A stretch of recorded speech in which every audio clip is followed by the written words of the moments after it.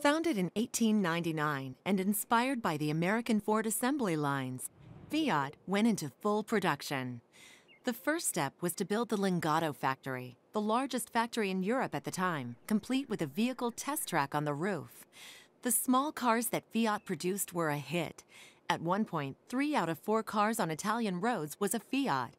With the manufacture of tractors, vans, buses, and even aircraft, Fiat has become a symbol of Italian industry. Today, Fiat has a controlling interest in Maserati, Lancia, Alfa Romeo, and Ferrari.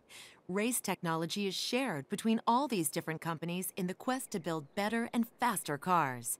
Fiat has also acquired the Chrysler Group, including Jeep, Ram, Dodge, SRT, and Mopar brands as well.